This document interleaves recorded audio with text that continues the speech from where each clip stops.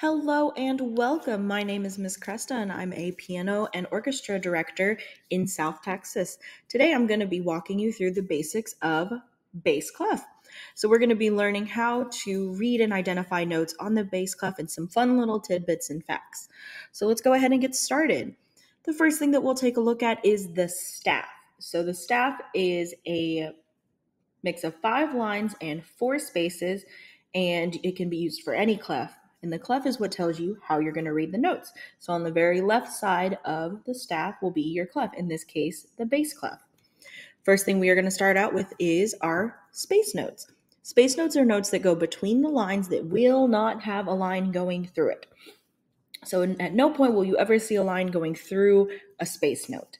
And when we read our notes, we read them going from left to right for the sake of our sayings and helping us memorize it, it's going to be from left to right, bottom to top. So let's go ahead and get started reading our notes. So our very first note we're going to look at is the bottom space, which is the note A, followed by C, E, and G. So you can think about ace, G, or we have a fun saying that helps us remember it. In this case is all cows eat grass because I've never met a cow that doesn't eat grass. So A, C, E, G, all cows eat grass, reading from bottom to top, left to right. Now let's take a look at our line notes. For our line notes, we have five lines going same thing again, bottom to top, left to right. We have our first note, the note G, B, D, F, and A. We have a really cool saying that goes along with it, which is good burritos don't fall apart. Now, something really cool is you can use any saying that you want, anything that fits in the letters G, B, D, F, A. I myself grew up with the good boys do fine always, or good boys deserve fudge always. But another fun one is Great Big Dragons Fly Away. Anything that helps you remember the order of the line notes and the space notes. Another really awesome fun fact is that you can use your hand to help you remember. So if you take a look at your hand, you have just the right amount for the lines and spaces. So you have just enough fingers for all your lines. One, two, three, four, and five fingers for your lines. Between your fingers are your spaces, which is one, two, three, four. So you have five lines and four spaces. Super cool. You have a staff right built into your body. Now, another really cool thing, now that you know your lines and your spaces, is we'll take a look at why the bass clef is the bass clef.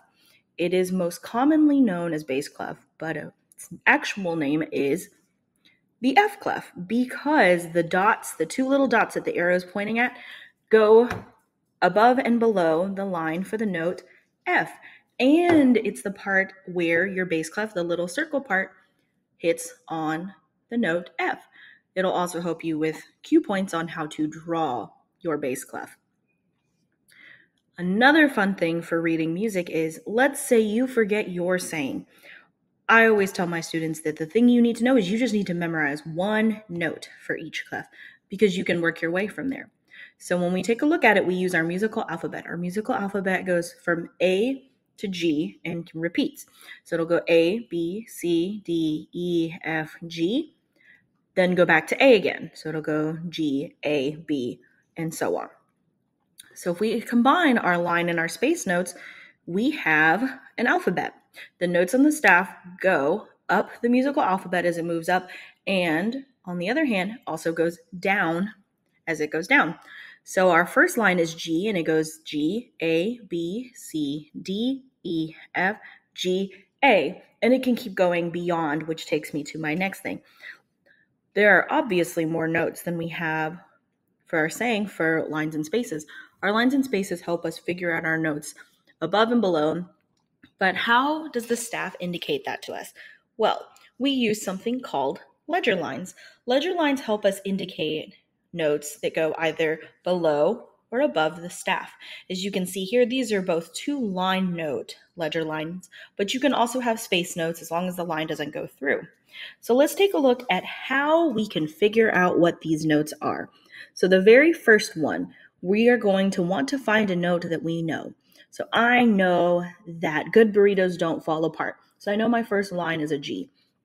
Then I'm going to work my way backwards. So I'm going to go G, go down in the alphabet because my note's moving down. So G, F, E. So that note that I'm looking at is an E below the staff. See how we got there? We went back on the alphabet. So because the note is going down, we're going to go backwards in the alphabet. So G, F, E. Now let's say we want to look at the next note and we want to go up the staff. We are going to go up the alphabet. So I'm going to find a line that I know or something that I know in this case. Good burritos don't fall apart. I know my top line is A. Now I'm going to go up the alphabet. So I have A, B, C, D, E. Look at that. The top line there, that ledger line note is also an E, but this is an E above the staff. So I'm counting both my lines and space notes from where my note is to where I'm going. So starting at that top line of the staff, I have A, B, C, D, E. So that top ledger line note above the staff is an E.